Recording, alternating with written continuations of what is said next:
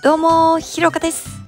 フランス遠征2日目のリールの街並み5日目の美食の街リヨンでの観光などなど Vlog にまとめました。最後にはエアビーの教訓語ってます。こちらがリールの、あのー、大きい駅。えっとなんだっけ。リール。もうなんかそうとりあえずリールの駅です。い やもうねぼーっとしすぎてまず電車の最初乗るホームを間違えで正しいホームに行ったかと思えば今度は乗り過ごすというもうね疲れてますね。というかなんかやっぱ知らない土地ではずっとなんか自分がどこにいるのかを Google マップでずっと見た方がいいというのを学びました。これが今7時なんですよ。ここはだいぶ大きめなデパート的なものですね。すごい人がねいっぱいいる。すごい。ここが結構大きめの広場になっておりまして。あの右側の街並みが結構可愛い感じ。ここの街並みがいい感じだしお店もめっちゃいい感じなんだが絶対に高いから入れないと思う。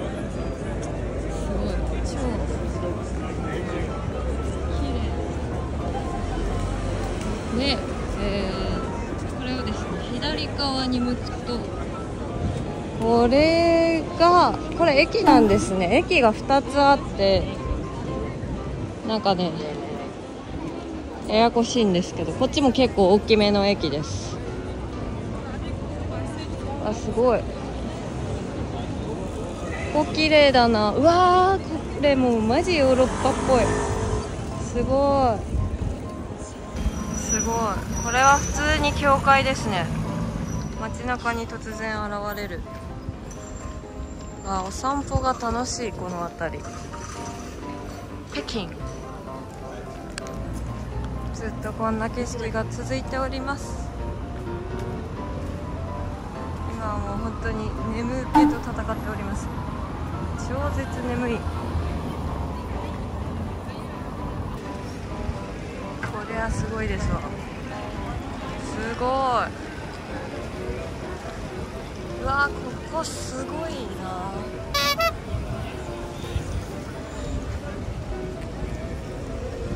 うわ多分これが昔の証券取引所かな。この辺りはなんかその歌劇場とかそういう感じのところがいろいろあるらしいです。でリールといえばなんか結構シードルとかも有名らしくてぽいのを飲んでる方も結構いらっしゃいますね。いやここで飲むのとか最高だろうけどな。ちょっとお金が厳しい。すごいね。これもめちゃくちゃにぎわっております。ここはなんかイベント会場になってます。すごいあの銅像がパリオリンピック系のあの旗持ってますね。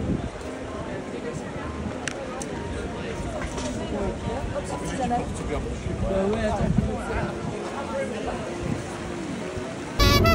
いいえー、超かわいいこの街で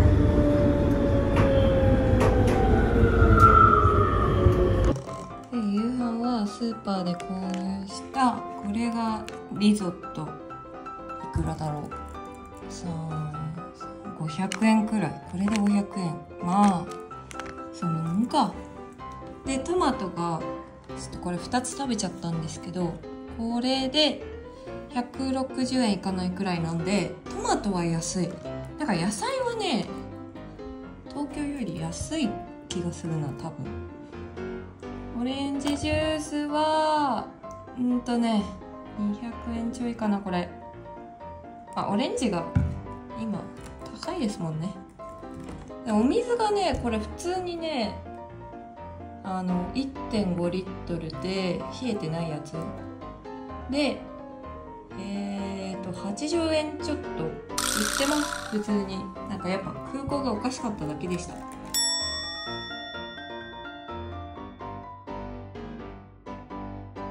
おはようございます。今日は何日目ですか？4日目？5日目くらいですかね。えーと今日はもう本当にようやく久しぶりのフリーであ のずっとこっち来てから毎日国内遠征みたいな感じで超絶ハードすぎたので、え今日は、えー、仕事して友達とあのこの間のサッカーの後に仲良くなった方とお食事して夜はちょっとランニングしようと思います。いやーオフ作るのマジで大事です。の前にここで、えー、朝食を取ろうと思います。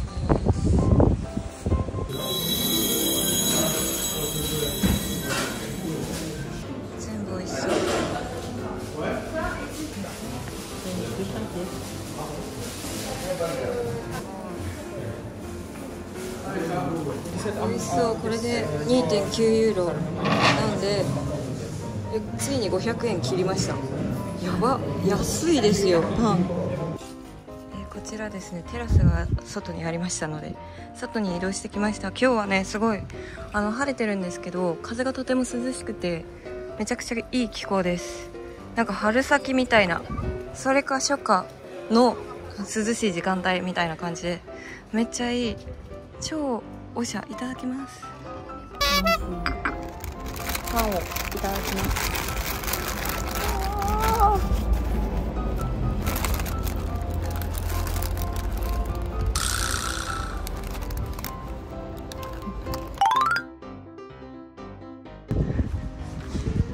こんな感じで今ちょっとランチに向かっているんですけれどもノートルダムの大聖堂の方に向かっております。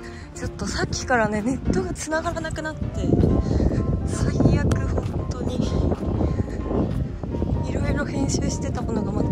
できなくて。すごいこの辺りめっちゃ可愛いお店がたくさんあります。いい感じですね。本日こちらです。あの YouTube でなんかねリオンの紹介があってここにすごいセットがお得みたいなのがあったんで来てみました。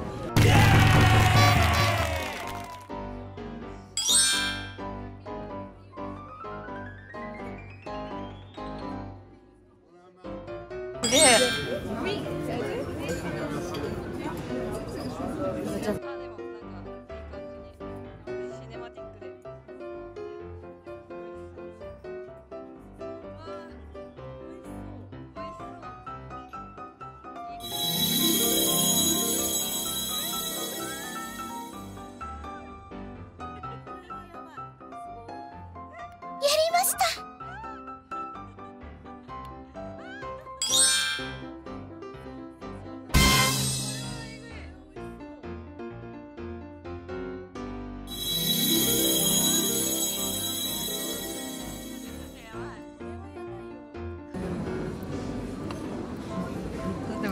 柔らかい。柔らかめだった。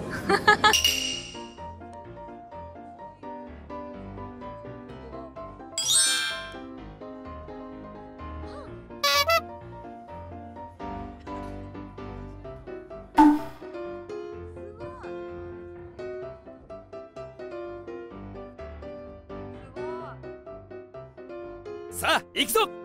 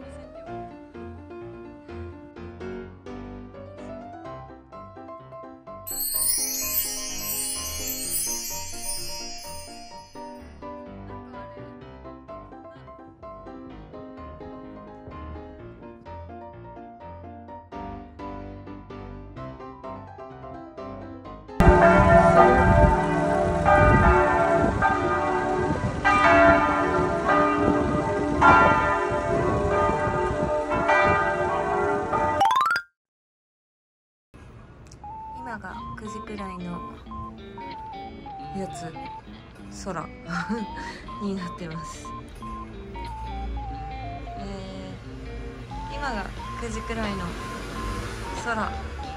ちょっとねここあの大きい道路のすぐそばなので若干いつも夜うるさいんですけどこんな感じでね。いや今日ね初めてここの良さに気づいたというかこんな感じですいません今ちょっと。こんな感じであのここで作業できるのめっちゃいいんですよね。でなんか下がね芝生になっててすいません今サンダル映っちゃった。今日でこのエアビーが最後でしてあのね結構ね今ちょっと部屋散らかってるんでお見せできないんですけれどもお部屋自体はね結構いいんですよ。広くていいんですけどあのまあエアコンはないのはねもう仕方がないこととして。まあでも結構夜は涼しいのでいいんですけれども。あのまず鍵がね開かないっていう。とこっちの鍵がめちゃくちゃ難しすぎる。これはあのどこでもそうなのかなっていうのはちょっと謎なんですけれども。建物が古いのかなんかまあ鍵がちょっとね噛み合わせが悪いのかっていうところもあるかもしれないんですけどなんか2回ぐるぐる回してようやく開くみたいな感じででなんかそれを1回でも間違えたりするとちょっとなんか開かなくなったりとか結構毎回5分くらいは絶対苦戦する感じのちょっとめんどくさいやつだったのとあとドライヤーがなくてなんかねこっちちょこちょこあるらしいんですよねドライヤーがないお家が。だからなんかそのドライヤーなくて今ももう毎日髪パサパサになっちゃうっていうのは結構しんどいなと思います。なので次からホテルとかエアビー取るときは絶対にドライヤーチェックしようって思いました。あとはまあちょっと私が悪いんですけどスリッパ忘れちゃったのでずっとあのさっきお見せしたこのサンダルで過ごさなきゃいけないっていうのが結構ちょっとしんどいなって感じです。毎回あのお風呂入った後とかサンダル洗ったりしてます、まあ、これは自業自得なんですけれども。うーんあとはね洗濯機があると思ったらなかったっていうこれもちゃんと見た方がいいです。なんか今回の教訓としてはやっぱりあのエアビーとかを取るときはしっかりその注意事項を読んでから取るっていうのがねめちゃくちゃ重要だなと思いましてもう設備として最低限自分が欲しいと思うものはまず絶対にチェックをする。その洗濯機しっかりドライヤーしっかりドライヤーが必要になるみたいなそこを気にする必要がねある日が来るなんて思ってなかったんですけどまあそれも含めあのちゃんと見た方がいいなっていうのは思いました。あと結構エアビーあるあるなのが写真がすごく良くても実際にこう止まってみたら違ったみたいなところはすごくあるのであの写真だけを信じ込んじゃいけないっていうのはめちゃくちゃありますね。やっぱり口コミをしっかりチェックするって本当に大事だなと思っていて、まあ、リールの時はすごく口コミ通りでオーナーさんがとても親切で優しくてめちゃくちゃ良くてっていうのはあったんですけれども今回のお部屋はですね口コミがなくてだったので結構ねその撮った後に来てあイメージと全然違ったっていうのはすごくありましたね。まあお部屋の中綺麗ではあるんですけど、まあ、広いしそれはそれでいいんですけどあのそもそもまずあの共同の部屋だっていうのを見ていなかったっていうそれが一番良くない。本当に。まずそこのチェックとかあと水回りとかも本当に気にする人はしっかりそこがどういう状況なのか口コミとか写真で見た方がいいですね。で写真に載ってないってことはおそらくそこはちょっとなんか怪しいというか問題だから載せられないみたいなところもありますしあと写真の撮り方すごい上手い人とかってたくさんいるんでね結構広そうに見えるけど実は超狭かったとか結構あるんでその辺りは口コミ含めあのしっかりチェックをしてエアビーを撮った方がいい。まあホテルもそうですね。結構ありますよね。なんか写真と全然違ったみたいなの。なんでそれは本当に改めて教訓として学びました。日本は割と大丈夫な方ですけど特に海外は結構ねイメージと違うのがあるんだなっていうので。でもなんか2日ぐらい住めばね結構慣れてくるもんですね。不思議とちょっと明日去るのが寂しくなるというかこちらのお家もねオーナーさんが割と男性なんですけどとても親切であの優しくしてくださっててでも私は最終日まで物を盗まれるのではないかという不安であのまだそこはねちょっと自分の中でもピリついてますけれどもっていう感じで、えー、今日はネットがつながらないためさっさと寝ることにしようと思います。というわけでおやすみなさい。